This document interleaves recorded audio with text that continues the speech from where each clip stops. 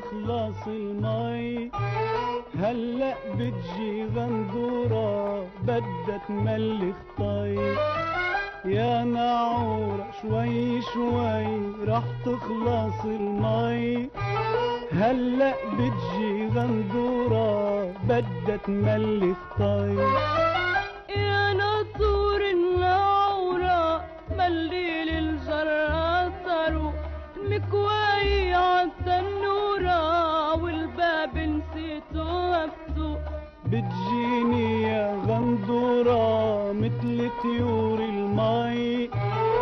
بدنا عهالناعورة نقعد نحكي شوي. عبالي طول المشوار لكن ما بقدر يا ريت تركت الطبخة فوق النار وأمي هلأ مش بالبيت. بنطر عالناعورة تاتيجي غندورة وغندورة لما بتيجي. سعد صباحك زينب. يسعد صباحك سالي صباح الخير صباح الخير لكل مشاهدي الإخبارية السورية. وين ما كنتوا عم بتتابعونا بحلقة جديدة من صباحنا غير أعياد مباركة وأيام مباركة مرقنا فيها وساعات قليلة بدنا نودع ال 2020 ونبتدي سنة جديدة. إن شاء الله يا رب تكون خير وبركة وسلام على الجميع. مثل ما متعودين بصباحنا غير عنا ضيوف من مجالات مختلفة ومواضيع بتهمنا بتهمكم لكن رح أرجع أصبح على زينب اللي رح ترافقني اليوم بهيدي الحلقة. يسعد صباحك عن جديد. يسعد صباحك سالي وكمان صباح الخير يا رب والفرج لكل مين عم بيتابعنا برحلتنا الصباحية. إن شاء الله اليوم بيحمل معه كل الخير لكم. إن شاء الله دائما الصحة هي تاج على رؤوسكم مشاهدينا. أكيد ضمن صباحنا عندنا كثير من الخبريات أيضا من المحافظات السورية والفعاليات اللي عم نحاول نسلط الضوء عليها. والشكر الأكبر اليوم لمطعم بابيليتو اللي عم يستضيفنا ببرنامج صباحنا غير. أكيد كل هالأخبار اللي حتكون معنا لكن بعد الفاصل.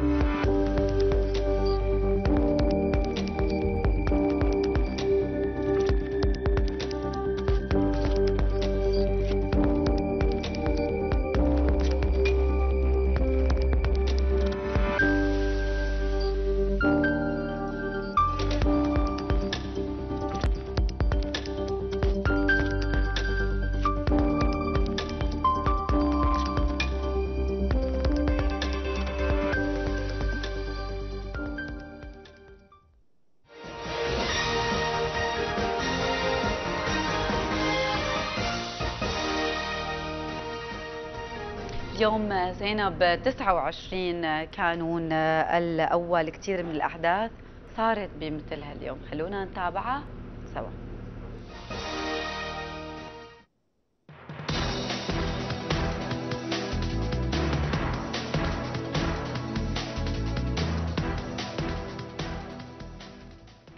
سوا وعشرين كانون الأول. كثير من الأحداث مرت بتاريخ هذا اليوم. قراءة سريعة لذاكرة اليوم. مثل اليوم من عام 1944 صدور أول عدد من جريدة لوموند الفرنسية. ومثل اليوم من عام 1975 صدور قانون بريطاني يضع حدا للتمييز بين الجنسين بالأجور ونص القانون على حق المرأة بالحصول على الأجر المساوي لأجر الرجل. وبعام 1997 هونغ كونغ تبدأ بقتل مليون و250 ألف دجاجة لوقف انتشار مرض إنفلونزا الطيور ومن الوجوه اللي أبصرت النور بمثل هذا اليوم من عام 1910 رونالد كوس اقتصادي بريطاني حاصل على جائزة نوبل بالعلوم الاقتصادية بعام 1991 وبعام 1957 بروس بوتلر عالم أمريكي بعلم المناعة حاصل على جائزة نوبل بالطب بعام 2011 ومن الوجوه اللي غيب الموت عن عالمنا بمثل هذا اليوم من عام 1924 كارل شيبتلر أديب سويسري حاصل على جائزة نوبل بالأدب بعام 1917 وبعام 1929 مايباخ رجل أعمال ومصمم سيارات ألماني. هي كانت أبرز الأحداث اللي صارت مثل اليوم 29 كانون الأول. نهاركم سعيد.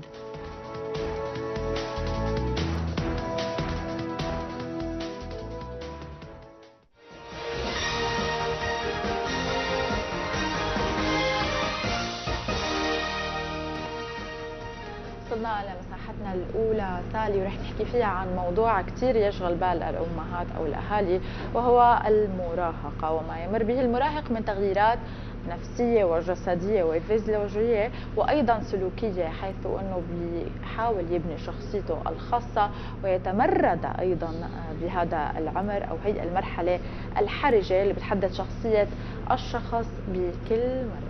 أكيد زينب مثل ما ذكرتي آه، بفترة المراهقة بتزداد أيضا كميات الطعام والطلب على كميات طعام لجسم المراهق. وأحيانا بيكون غذاؤه غير متوازن وهو بحاجة لغذاء متوازن طبعا بهيدا الفترة بسبب التغيرات الهرمونية يلي ممكن تصيب الشاب خلينا نقول أو اليافع. أكيد كل هالتفاصيل رح نحكي عنها ورح نشوف إذا كان الغذاء غير متوازن قد إيه في مخاطر ممكن يتعرض لها المراهقين. أكيد بصرنا نرحب بالدكتورة لميا البضنة اختصاصية في أمراض الأطفال. يسعد صباحك واهلا صباح الخير وكل عام وأنتم بخير يا رب. مثل ما قلتي تكون سنة 2021 سنة خير يا رب. آمين. إن شاء الله. كل عام وانت بخير دكتورة. ويسعد لي صباحك. صباحك. يعني عم نحكي عن موضوع كثير بيعانوا منه الأهالي وهو سن المراهقة والتغييرات الجسدية والنفسية للمراهق. بس خلينا نحكي قبل. آه، كثير من الناس بيقولوا اولادي بيكرهوا جسمهم بيكرهوا حالهم. في عندهم تغيير بالتغذية يا سمين سمين يا بينحف بينحف تمام. فخلينا نحكي عن اضطرابات التغذية عند المراهقين. أه هلا مثل ما قلتي إنه المراهق عم يمر بمرحلة انتقالية. هالمرحلة هي اللي ببلش بحس إنه هو يعني ملك نفسه هو بلش يحس بالاستقلالية. أه بلش يحس إنه هو بده ينفصل عن عيلته بده يكون له تقاليده الخاصة بكل شيء. ومن هالشيء هذا هو تقاليد الأكل. بالإضافة لهالشيء إنه حاجاته التغذوية بتزيد بفترة المراهقه لأنه عم يزيد نموه الجسمي عم يزيد تكوين على العضلات كل هالشغلات بتزيد من حاجته للتغذية. هلأ المراهقين بيعملوا بعض الأمور اللي بهن بالنسبة لهم قد تخليهم إنه يحافظوا على جسمهم بينما بنفس الوقت إنه أحيانا عم يضروا حالهم.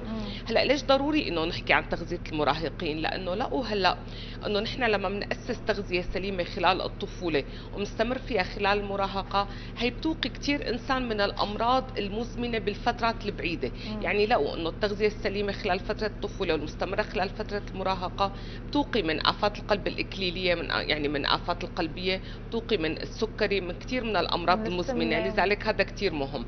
هلأ الشيء اللي بيخلي المراهق إنه يعدل بنظام تغذيته إنه نحن بنعرف إنه في قفزة نمو طبيعية أثناء البلوغ. آه شيء طبيعي بده يزيد جسمه بده يزيد وزنه بده تزيد عضلاته. بعض المراهقين وخاصة البنات لأنه مثل ما حنشوف البنات كثير بهمهم دائما يحتفظوا بشكل إنه يكونوا مقبولين من أقرانهم.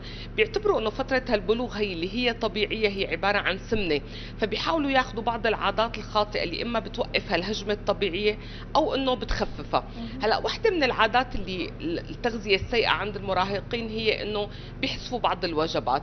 مثل ما قلنا المراهق بيقوم مشغول آه، عنده مدرسة عنده عمل صار عنده لقاءات يعني مع رفقاته كثير فهو عادة مشغول. فبيميل إنه ما يلتزم إنه ياخذ الوجبات مع العائلة فبيحذف بعض الوجبات. بدراسة انعملت على بعض المدارس اللي الأطفال اللي بياخذوا فيها وجبة الفطور تحديدا. لأنه على الأغلب المراهق لما بده يحذف وجبة بيحذف وجبة الفطور. آه، بيقوم الصبح مستعجل آه، ما له شهية فبيميل إنه ياخذ وجبة الفطور. لسببين هو برأيه إنه لما عم يحذف وجبة الفطور هذا عم يعمل نوع من الرجيم أو نوع من تخفيف الوزن. والشيء الثاني مثل ما قلت لك هو وقته المشغول وقلة يعني نعم. وقلة الشهية بالصباح. المدارس اللي يعني الطلاب فيها بيستهلكوا وجبة الفطور لو إنه هدول الطلاب بيحققوا درجات أعلى بي بي وخاصة بمادة الرياضيات لأنه مادة صعبة. لو إنه هدول الطلاب عندهم مشاكل نفسية أقل عندهم اضطرابات بالسلوك أو خلافات بينهم بين المدرسين أقل لو إنه غيابهم أقل أدائهم المدرسي أكثر فإذا معناته المراهق اللي عم ياخذ وجبة الفطور أول شيء عم يأمن ربع الوارد الحروري اللي هو لازمه لكل النهار نعم. معناته لما حذف حذف الوارد والشغلة الثانية لقوا انه اداؤه المدرسي أفضل.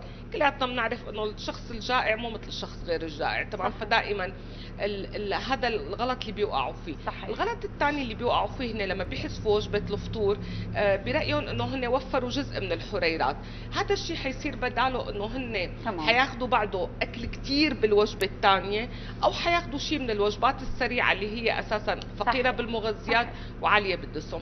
فاذا أول عادة تغذوية خاطئه عند المراهقين هي حذف حذف الوجبات عادة بيميلوا مثل ما قلنا إنه يحذفوا الفطور أحيانا بيحذفوا الفطور والغداء بكثير أحيانا بسبب وقت انشغالهم ممكن ببعض الأحيان نعم. يحذفوا وجبة العشاء طبعا هو ما بيحذف ثلاث وجبات بس قصدي على الغالب صح. هي وجبة الفطور اللي بيتم حذفها بالأغلب دكتورة يمكن حكيتي على الشغلات السليمة اللي أحيانا آه، المراهق بيبتعد عنها اللي هي وجبة الفطور.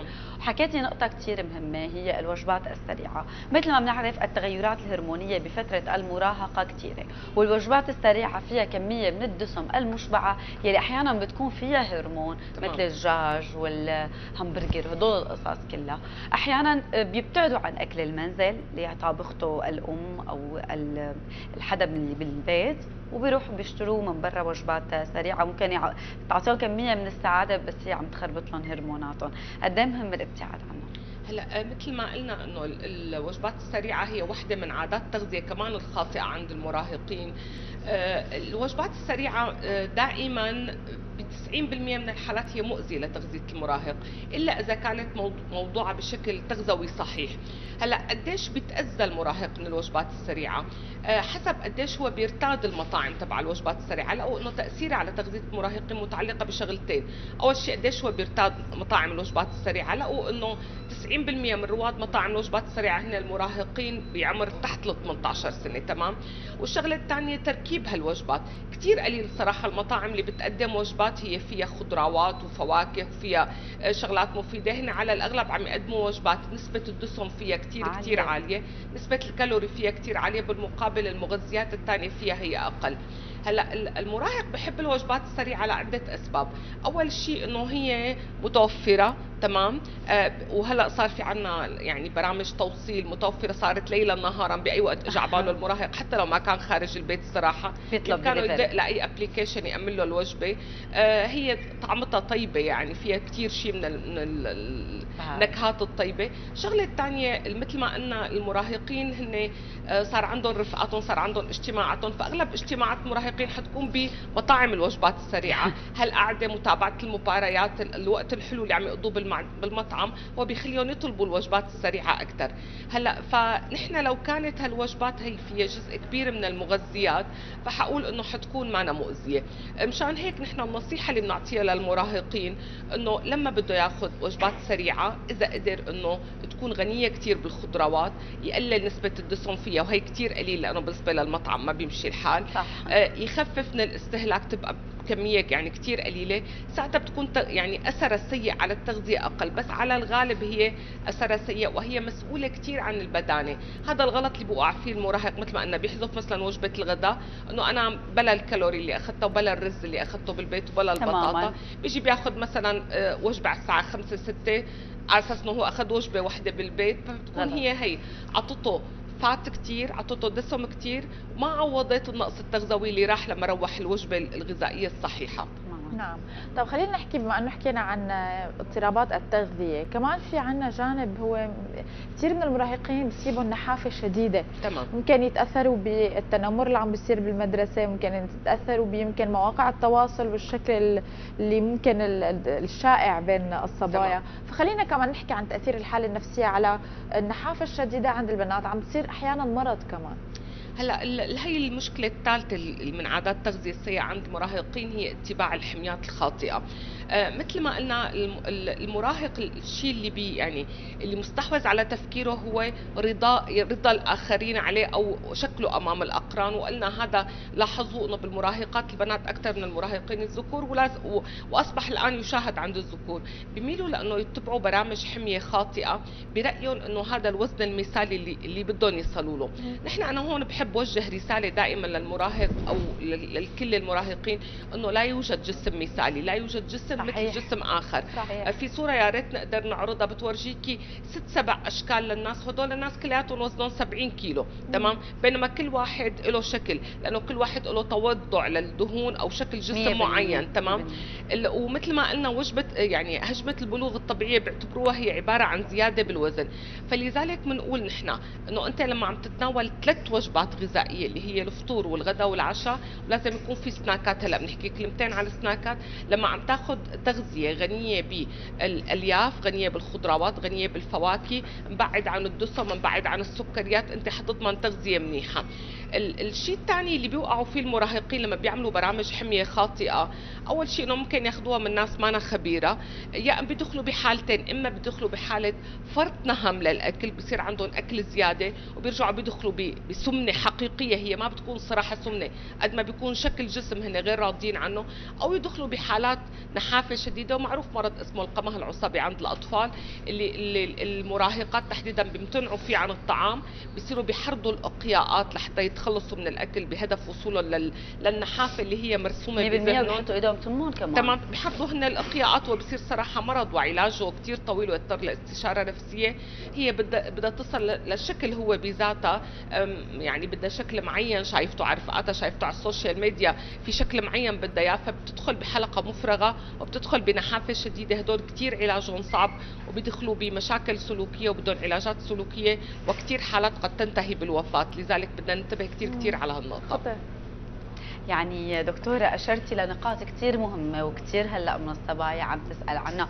وأكيد كلنا مارقين فيها. مثل ما ذكرتي الأجسام هي بتختلف. يعني زينب بنتذكر بفترة من الفترات سمنا بعدين لحالنا هيك رجعنا ضعفنا. ولكن أهمية الغذاء المتوازن للجسم قد إيه مهم. خلينا نركز للصبايا حتى إنه الفطور لازم يكون آه، كامل آه، أيضا الفيتامينات حتى لبشرتهم. يعني هن بيصلحوا من جهة وبيخربوا من جهة تمام، ثانية تفضلي. فالشيء المهم اللي ذكرتيه هلا إنه الالتزام بالوجبات. الصراحة الالتزام بالوجبات بيجي لما بنكون ملتزمين كمان بوجبات العائلة. قلنا نظام المراهقين المشغول على الأغلب ما ما بياكلوا هن مع عائلتهم. كمان بدراسة لقوا إنه الأطفال اللي هن بياخذوا أغلب الوجبات مع العائلة لقوا إنه هن بيكون عندهم ال BMI معدل كتلة الجسم أقل بكثير من الأطفال اللي هن ما بيلتزموا مع آه، وجبات العائلة. لأنه على الأغلب هن بياخذوا وجبات متكاملة ومغذيات صحيحة.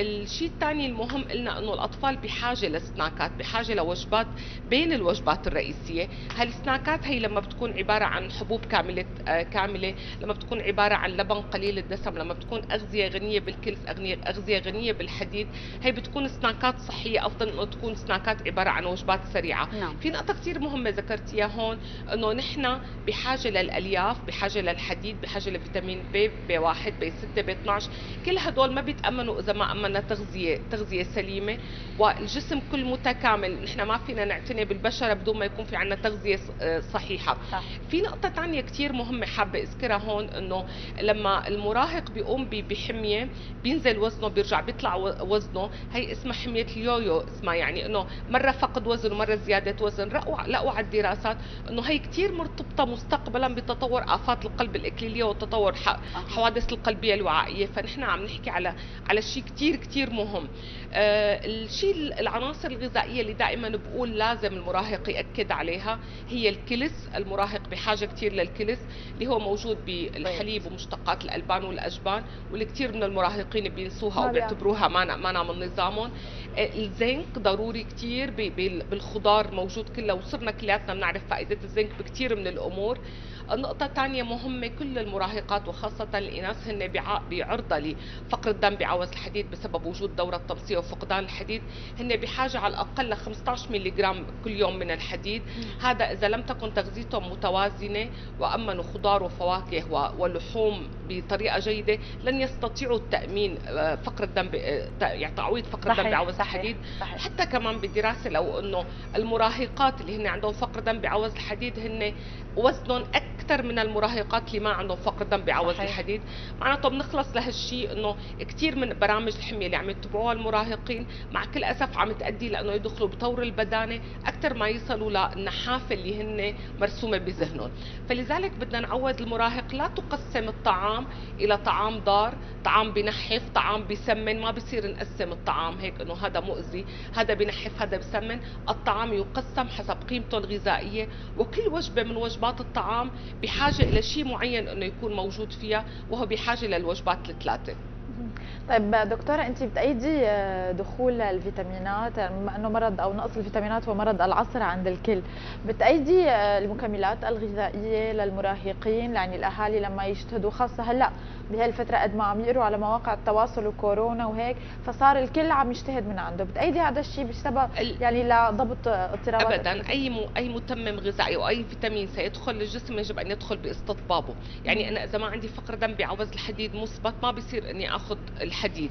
ما عندي شيء مثبت ما بصير إنه آخذ. مثل ما قلتي لما الناس بلشت تاخذ الزنك بكميات كبيرة في ناس صارت تعاني من الأعراض السمية للزنك صحيح. مثلا ال- ال- الجرعات الكبيرة بلشت تعمل غثيان اقياء الأشخاص اللي عندهم ارتفاع توتر شرياني لازم ينتبهوا قبل ما ياخذوا الزنك فأي فيتامين مهما بدأ إنه كثير بسيط يجب الا يؤخذ إلا باستطبابه وفي حال وجود عوز بهذا الفيتامين. نعم. نعم. دكتورة يعني مع هالمعلومات القيمة يلي استفدنا نحن منها وأكيد إن شاء الله يا رب تكون وصلت لكل بيت وعائلة بهمها إنه يكون آه، صحتها وصحة الصحة البدنية عندها تمام. آه، سليمة. إن شاء الله تكون هيك قدرنا نوصل المعلومة بفقرتنا لليوم. معك دكتورة لميا شرفتينا وأهلا وسهلا فيك. شكرا كثير لكم شكرا لوجودك شكراً. معنا وكل عام وأنت بألف تبقى خير. الخير حبيبتي. أما هلأ رح نروح على ريف حما. بدأ بعض المزارعين بريف السلمية الشرقي بالاعتماد على الزراعة ضمن البيوت البلاستيكية وهي الزراعة المحمية بعد تحقيق كامل الشروط التي تؤدي لإنتاج وفير تفاصيل مع مراسلنا بحما بالسلمية محي الدين فهد. بأياديهم يزرعون الخير والأمل والعطاء في مدينة السلمية لما تحمله الشجرة من فوائد جمالية وطبيعية. من هنا انطلقت مبادرة زراعة الأشجار في المنصفات وشوارع المدينة. هذه حملة تسجيل إن شاء الله راح نقوم فيها بكل أنحاء المدينة. آه، بتعرف أنت آه، الشجره إلى آه، عنوان والى رمز للحياة ولاستمراريه الحياة. آه، نحن حبينا بهذه الخطوة نعطي انطباع الحضارة. رسالة لنا بسلامية إنه نحن عم نزرع الشجر مشاننا ومشان الطبيعة اللي نحن بنحبها. وأرضنا هي سلامية نحن لو ما بنحبها ما بنعمل هذا الشيء. والعمل هذا رائع جدا لنا ولغيرنا ولاطفالنا يعني بتشكر جهود الشباب كلها كافة وهذا كله بيعود لازدهار مدينتنا ونظافتها ونتمنى من ال- ال- الشعب كله إنه يحافظ عليها ويساعد هالحملة هذه ومشكورين كثير كثير اللي قاموا بهالحملة هاي. طبعا الانطباع جميل جدا جدا جدا وأتمنى أن تستمر هذه الحملة لأنها تجعل مدينتنا جدا نظيفة ولكن يجب أن تنتقل هذه النظافة لتكون ثقافة.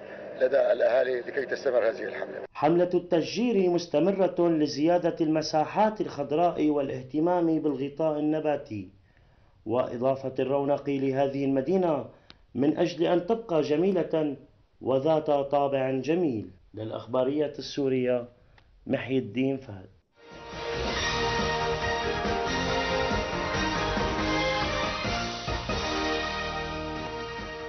يعني زينب وين وصلنا؟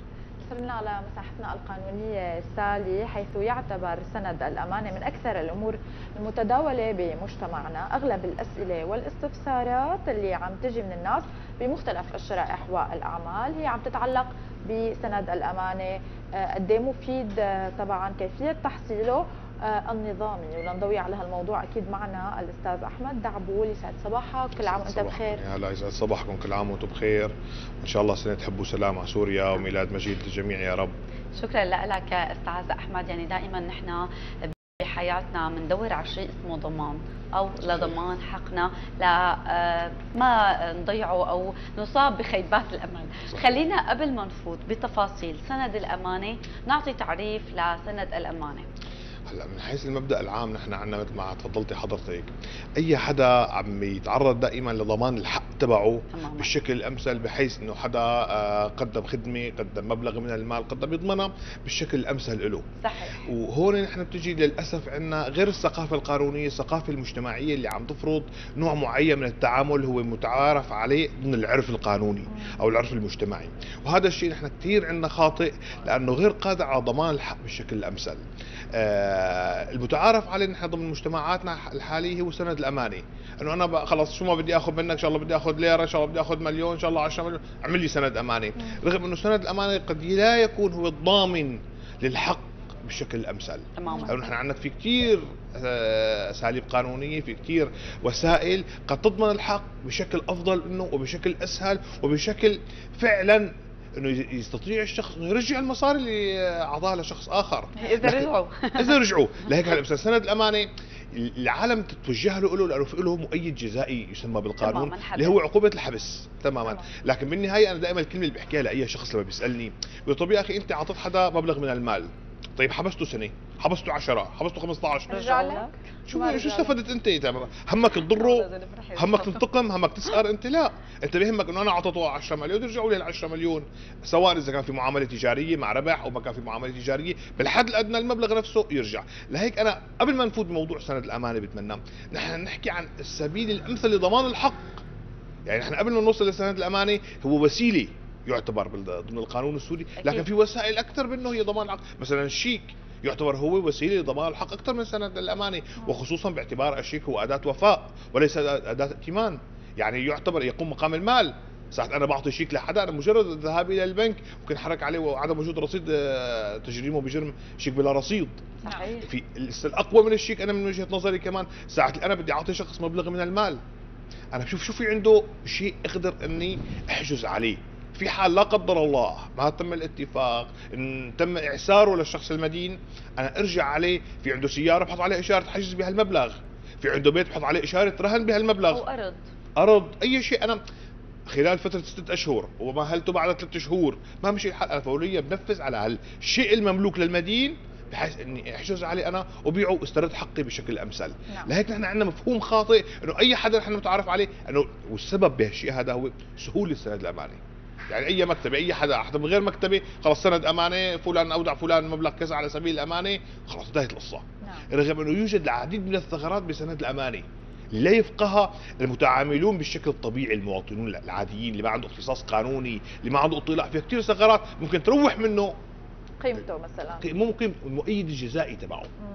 مم. عقوبة الحبس لأنه سند الأمانة هو يعتبر من الأسناد الشكلية طب خلينا نعرف شو هي صيغة سند الامانه الصحيحة وفق القانون السوري وفق القانون السوري إحنا الأساس أن يكون المبلغ المودع من قبل شخص إلى شخص آخر على سبيل الأمانة يعني كثير أحيان إذا حدا ممكن هيك عنده شوية دراية قانونية يكتب أنه تاريخ الوفاء فيه أنه أنا أكثر. يستوفى لي بتاريخ 1 1 2021 تمام. على سبيل المثال فقط قيمته سند الأمانة كمؤيد جزائي ليش؟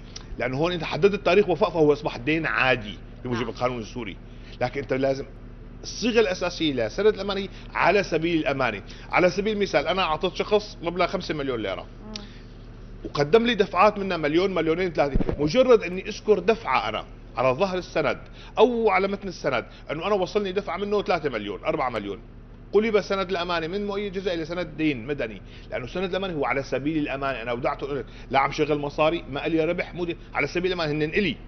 يعني هلا مثلا سند الأمانة أنا ممكن حتى أحط فيه غير المال؟ ممكن أحط فيه أشياء مثلية. تماما. ممكن أحط فيه آه، أي قصة انه اودعت لديك على سبيل تماماً. الأمانة. هالسياره هي؟ هالمنزل أي شيء ممكن نحط فيه سند الأمانة؟ لهيك أنا بحط إنه خلينا نلجأ لسند الأمانة إذا كانت مبالغ صغيرة. مليون ليرة مليونين ليرة ثلاثة.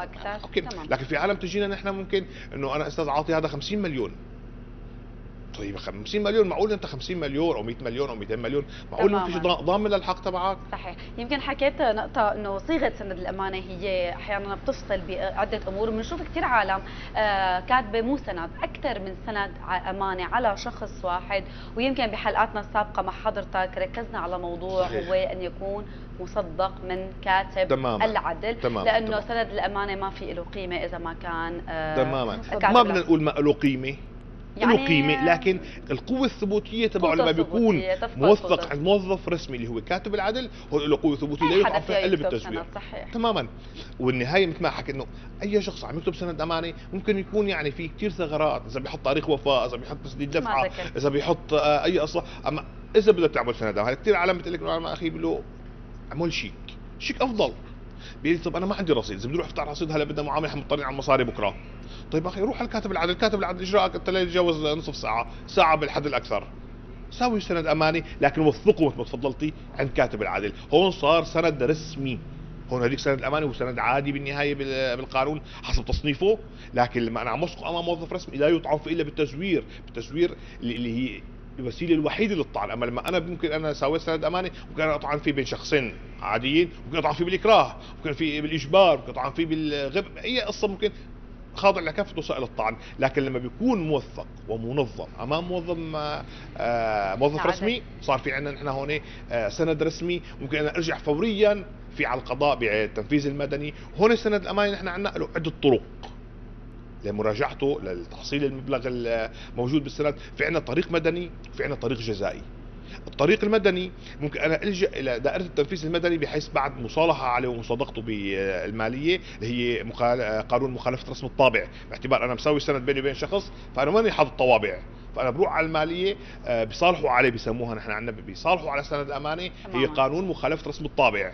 بتوجه للمحكمة. دائرة التنفيذ إذا الشخص المدين أنكره فهون خلاص بتطلع الدعوة من ولاية التنفيذ المدني تتحول إلى القضاء العادي لإثبات إنه هذا فعلا شخص هو سند الأمانة البصمة هي للشخص هذا أو لا.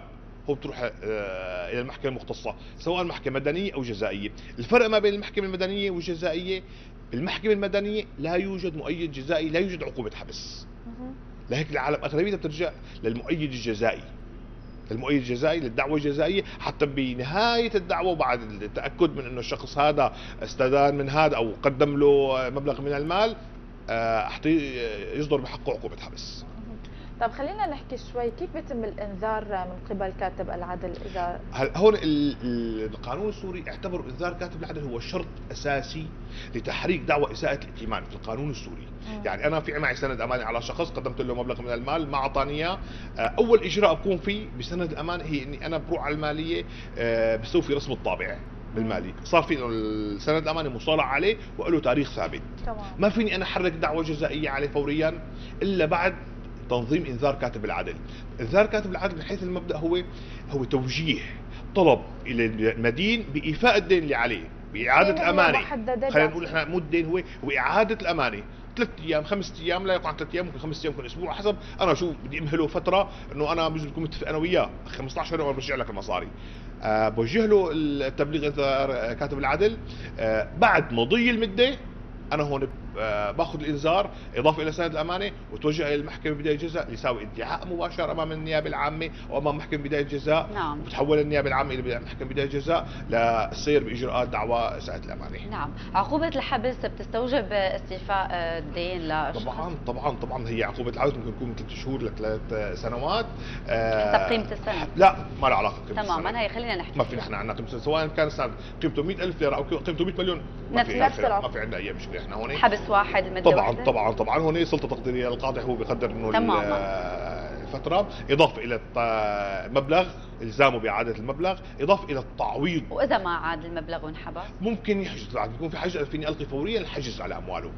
حجز على ال- الاحتياطي على الأموال المنقوله وغير منقوله إذا في عنده سيارة أنا أبرز للمحكمة أنا فلان عنده بيان قيد مركبة بالسيارة رقم كذا بطلب التمس إلقاء الحجز عليه حتى لا يتم تهريبها عنده عقار عنده أرض عنده بيت. بيلتمس إلقاء الحجز الاحتياطي على ضمانا للامانه. تبعي طب شو هي نقاط الضعف أو النقاط اللي لازم كل حدا ينتبه لها لما بده يكتب سند الامانه الفكرة الأولى واللي بنعيد بنكررها عدم تنظيم سند الأمانة بشكل ودي. عشوائي بشكل يلا نحن حبايب اكتب لي سند أمانة والله يسير. ما بصير. بالنهاية نحن- أول شيء نحن دولة قانون والتزام بالقانون حتى بالشريعة الإس- الإسلامية وإذا تداينتم بدين مسمى صحيح. فاكتبوه وثقوا هالشيء هذا. يعني أنا عم أفور أي شخص وال- والس- ال- على الخطوة الأعظم هون اللي بسميها مو على اللي عم يعطي مصاري على اللي عم ياخذ المصاري إنه بس يكون واحد متضايق عم يسوي سند أمان على بياض ما عم يحط مبلغ. طب هذا خطأ كمان. كثير يعني هو. لما أنا عم أكتب أنا عم بضمن حق الدائن وحق المدين. الدائن إنه يرجعوا له مصاري والمدين إنه ما يتم التلاعب بالمبلغ. خلص أخي شو بدك؟ أنا بع- بعطيك 10 سندات امانه طبعا السند الامانه اللي هذا ممكن يكون مليون أنا احطه 10 مليون 50 مليون. للأسف كثير يعني هون بسميها هون أزمة أخلاق صارت. إيه. مع الخصوص بيقول لي أستاذ أنا أعطيه مليون ليرة بس أنا بصراحة كان آه، كذا. وكان كذا وأنا ارتفع سعر الصرف عندنا ونزل سعر الصرف وأنا كانوا يجيبوا لي المليون ليرة سيارة هلا ما بيجيبوا لي شيء بدي أحطه. يا أخي ما بصير حرام. اتق الله بالنهاية إنه أنت شو بدك منه حطه المبلغ لا أستاذ أنا بدي أحط الفوائد بدي أحط أتعاب المحاماة بدي أحط أنا مصاريف المحكمة بدي أحط كل شيء أنا. بالسند. يا أخي ليش لهيك أنت لما عم نكتب نحن وعم نوثق ما عاد حدا فيه يلعب بهالشيء هذا تماما الدائن ضمن حقه بإعادة المبلغ والمدين ضمن حقه تمام. بعدم أخذ مبلغ زيادة أستاذ لكل سند آه، مثل ما حكيت آه، يعني بس ينحبس شخص على سند. تمام. آه، يرجع ينبرز السند الثاني بيرجع كل بين سند لحاله له القوة الثبوتية تبعه له المؤيد الجزائي تبعه ما في أي خلاف يعني عليه. مثلا برز سند رد برز سند ثاني ممكن يحبسه تمام تمام. على ما أكتر, يعني أكثر مرتين وثلاثة وأربعة وخمسة طبعا. بحسب عدد السندات اللي طبعاً، هو طبعاً، كاتب. عليه. يمكن القوة الثبوتية للسند هي اللي بنقول إنه هي بتضمن حق حق الاثنين خلينا صحيح نقول. صحيح. طيب خلينا نحكي آه، أيضا آه، في حال التلاعب بسند آه، الأمانة. هون كل شيء بخص التلاعب يعود تقديره إلى المحكمة. يعني أنا بدي أدعي ونحن في عندنا قاعدة ما في قانونية. شيء ثابت تقديريا؟ البينة على من ادعى والحجة على من أنكر. قاعدة قانونية. يعني. نعم. أنا ادعيت إنه هذا السند مؤلي أثبت. أنا ادعيت إنه هذا أخذ مني أثبت. أنا ادعيت إنه فلان أخذ مني. طيب اثبت شو إثباتي أنا؟ قدمت سند الأمانة. بدي أجيت أنا قلت أحيانا صفر بسند الأمانة. صفر. صفر بي- بيفرق. صح صح الحكي. وكثير احيان للأسف صايرة معنا. تماما. يعني مثلا 300 ألف ليرة ممكن آه، بلحظه 30 تصير مليون. آه، 10 مليون آه، حطي لي يأنو صارت 20 مليون. للأسف بصير في تلاعب. هلا هون اللي عم يدعي البينة على من ادعى انه لا أنا سندي 10 مليون مو 20 إثبت. هون كيف بدي اثبت ممكن أنا أجيب شهود ممكن يكون أنا مسجل له مقطع فيديو ممكن يكون في رسائل نصية بيني وبينه إنه أنا وين ال 10 مليون تبعك؟ ما رجعت لي ال 10 مليون لا صار بدي منها 13 إنه أنت عم تطالبني ب 13 إيه. كيف أنت عم طالبني بالمحكمة ب 20 هون في وسائل آه، إثبات قانونية تلجأ عليها المحكمة للوصول كل شخص إلى حقه. لكن مشان نحن ما نفوت بهالمعمعة وبالإضافة إلى أمد التقاضي يعني إحنا عندنا محكمة بداية بعدين عندنا محكمة استئناف في عندنا أمد تقاضي. وسطوع عند كاتب العدل. انتهت القصة. أي حدا عم يضمن حقه. ما بدي أخي ما عند- نسخه ثانية ما في أنا أخي ما عنده سيارة أحجز عليها. ما عنده م- مبلغ بالبنك. وثقوا عند كاتب العدل. تكاليف ما في. قليل جدا ممكن 3 4000 ليرة. آه وقت قليل جدا. أخي أول نظم عند كاتب العدل انتهت القصة. ضمنت حقي أنا كمدين وضمنت حقي أنا كدائن وضم... من دون ومن دون أمد تقاضي. معلش مثل ما بقول أنا أخي كان عندي بسألك كان فيني أشتري كذا بهالمبلغ هذا هلا ما فيني. ضمنت حقك أنت بالسرعه بالتنفيذ المدني. بكل شيء أضمن لما بيكون موثق الشيء. دائما أنا بدأ يعني حتى بمقابلاتنا عم حاول دائما إنه شدد أخي. وثقوا أعمالكم وثقوا أعمالكم. مو قصه ثقة. كثير حدا بيقول لي أخي أخي بلشنا نحن ثقة. حتى أحيانا بيجوا عندي اثنين متفقين هنين. أستاذ لا لا ثقة نحن. بقول لك يا أخي لو إنه ثقة ما كان نحن عندنا ألف دعوة. إذا أكيد، ثقة- 100% كل العالم هذا بيشتري ما بيعطي وهذا بيأخذ ما بيرجع. لو إنه ما كان في محامين على قصه ثقة. طب معقولة يعني ما كان في صيغة بديلة؟ يعني أنت قلت يمكن ذكرت الشيكات الشيك. آه، هي آه، مضمونة أكثر من طبعاً، سند طبعاً. الأمانة لكن هل معقولة أنه لهلأ آه، يعني العالم لسه عم تعاني قانونيا من سند الأمانة ومن الصيغة لهلأ؟ طبعا طبعا لا لأ طب, طب شو شو البديل الصيغة القانونية البديلة ل- لسند الأمانة أو الشيك؟ في شيء ثاني؟ خلينا نحدد نحن خلينا نبلش من سند أمانة. آه مبنى سند أمانة باعتبار غير مضمون الحق في 100% نلجأ للشيك. الشيك اللي هو أقوى من سند الامانه باعتباره أداة وفاء وليس أداة ائتمان. أنا برأيي حتى الشيك بالنهايه أنا مهمي أنا لما عم دين حدا مصاري مهمي اسجنه ما في تار بيني وبينه ما في. همي ارجع حصل مصرياتي أنا. أنا بشوف الوسيله الأفضل خليني أحط إشارة رهن بموضوع ما بياخذ معنا يومين أو ثلاثة. آه، أمام مدير التنفيذ المدني أنا بقر أمامه بأنه أنا استلمت من فلان الفلاني مبلغ وقدره كذا. وبالتمس للفريق الأول اللي هو الدائن آه، وضع إشارة الحجز الاحتياطي على السيارة. أنا هون خلال ستة أشهر سنه سنة ونص ما أعطاني. هو ضمن حقه 100% رح يرجع له رح يضطر إلى البيع الشيء الموضوع إشارة الحجز عليه. آه، بيعه بالمزاد العلني واستيفاء حقه كاملا إضافة إلى التعويض اللي بتحكم له في المحكمة والضرر المادي المعنوي اللي ممكن يتوجب له. نعم. يمكن أستاذ اليوم كان موضوعنا كثير مهم وكثير عم بيصير نظرا للظروف الراهنة اللي نحن عم نعيشها آه، كتابة سندات أمانة. آه، بدنا كلمة أخيرة منك لكل يلي مثلا عم يسألوا شيء عن سند الأمانة كيف بدهم يضمنوا حقهم وما يصير في تلاعب؟ بدي أقول كلمة واحدة الموضوع موضوع اختصاص وليس انتقاص. يعني أنت عم تعطي سند امانه لا لا تجتهد من حالك لا تفكر حالك أنت العارف والعالم بكل شيء. طالع عن كاتب عدل نظم سند الامانه تماما. تماما. وثق الحق اللي لك واللي عليك وثقه بشكل رسمي. آه لا تعطوا سندات على بياض. لا ترضى أنت تعطي حدا مبلغ مجرد إنه علاقة ودية بينك وبينه. اللي بده يرجع المصاري فعلا ما راح يخجل منك إنه تروح توثق الحكي هذا أمام كاتب العدل. واللي بده يرجع راح يقول لك أنا مو فارق معي ساوي عند كاتب العدل ولا ساوي عند مين ما كان أنا مو فارق راح أرجع لك المصاري. ما بدها خجل القصة. هون موضوع قانوني ضمان حق هو مال أولادك بالنهاية مال عائلتك. وهذا مال عائلته اللي بده يزيد المبلغ. وثقوا السند الامانه بشكل رسمي أمام موظف رسمي لضمان حق الطرفين بشكل أمثل. نعم. إحنا بنتشكرك كثير أستاذ أحمد على وجودك معنا. وأكيد نقول لك ينعاد عليك بكل الخير والصحة.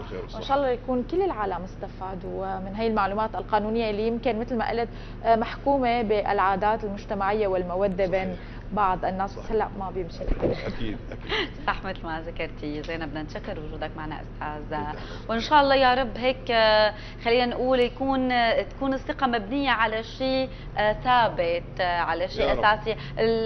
القانون هو يلي بيحكمنا دائما. مو نحن اللي بنحكمه. شكرا لوجودك معنا. ما هلأ زينب تكون حلقتنا وصلت لنهايتها. بنتمنى يكونوا مشاهدينا قدروا استفادوا من المعلومات اللي قدمنا لهم إياها ب هالساعة. أكيد كل الشكر لمطعم بابيليتو على استضافتنا. نقول أيام مباركة يا رب وإن شاء الله هيك حضروا حالكم لاستقبال ال 2021 بأمل وثقة إنه القادم أجمل. يعطيك العافية زينب. شاء الله يعطيك العافية. وإن شاء الله تكون هالكم يوم يخلصوا بخير وسلامة. بنقول اهم شيء 2020 تمر بخير وسلامة. وإن شاء الله تكون استفدتوا من حلقتنا ومن صباحنا لليوم. أي استفسار أو اقتراح راسلونا على صفحتنا على الفيسبوك. صباحنا غير. واللي ما قدر يحضرنا صباحا يحضرنا الساعة واحدة بالليل بالإعادة. نتمنى لكم بقية النهار يكون كله فرج على كل الأصعدة ومحبة وصحة وأوقات حلوة مع العائلة تبقوا بألف خير وباي باي. باي.